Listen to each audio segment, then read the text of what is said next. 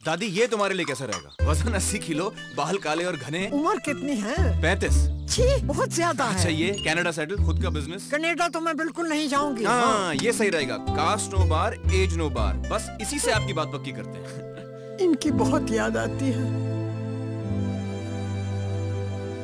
अरे लड़कों में कोई ऐसा है जो इनकी मूछ के एक बाल के बराबर भी हो? वो सब मैं नहीं जानता लेकिन शादी कैंसिल तो गिफ्ट कैंसिल गिफ्ट कौन सा गिफ्ट सोचा था शादी के लिए हाँ कर दोगी तो। मैं तैयार हूँ। टाइटन कभी किसी मौके पे कभी यूँ ही।